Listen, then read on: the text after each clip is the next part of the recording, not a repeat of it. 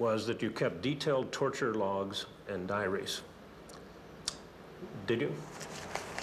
I kept sheets of paper that I had made some notations on.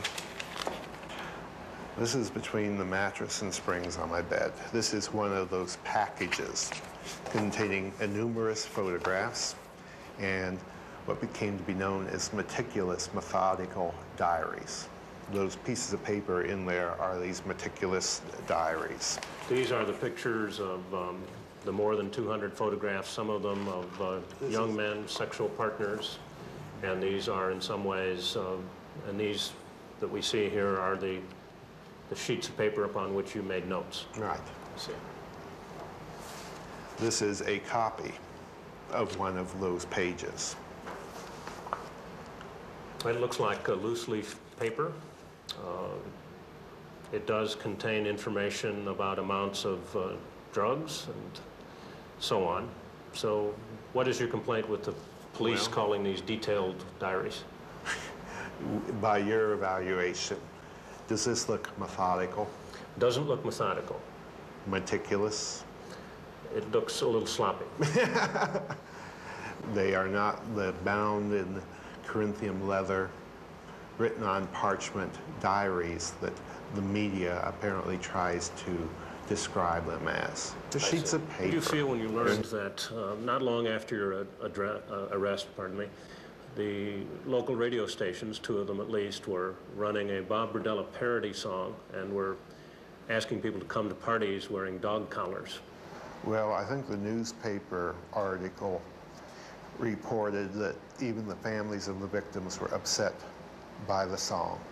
I have never had a chance to hear the I song. I had also been told when I first came into jail that the Fox radio station had run a promo giving prizes to their listeners if they showed up at the station in a dog collar and with a leash on.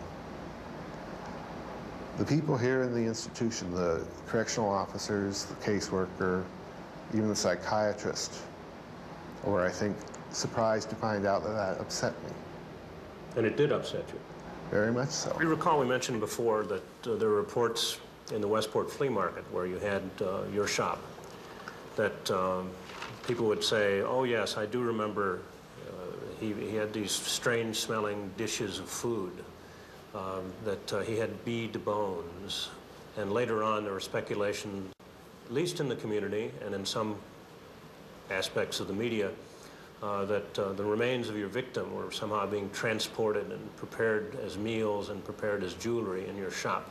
I was quickly able to identify to the police the other dealers in the, that section of the market where we rotated potluck rather than eat the flea market food again.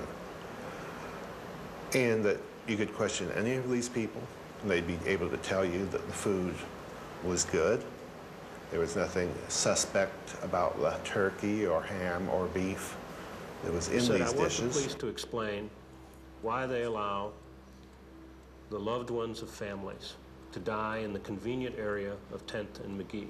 I don't think any family of my victims or anybody else that has been killed down related to 10th and McGee are going to be happy to find out that their loved one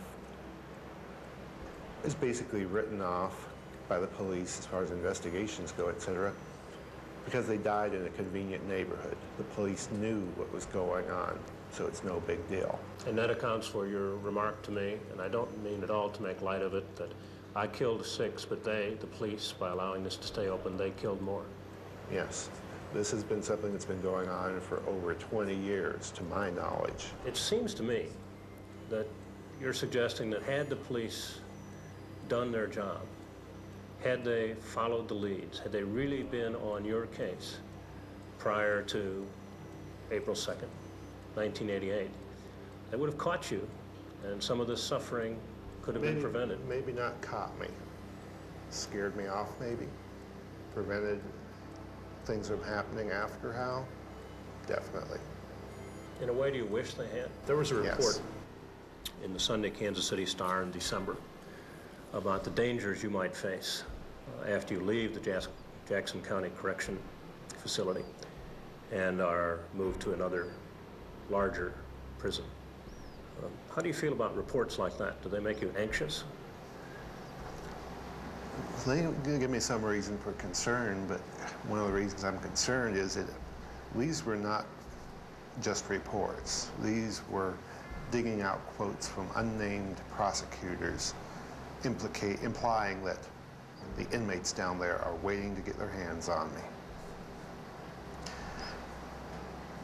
I am at this point am less concerned about the inmates acting on their own as opposed to the inmates or an inmate acting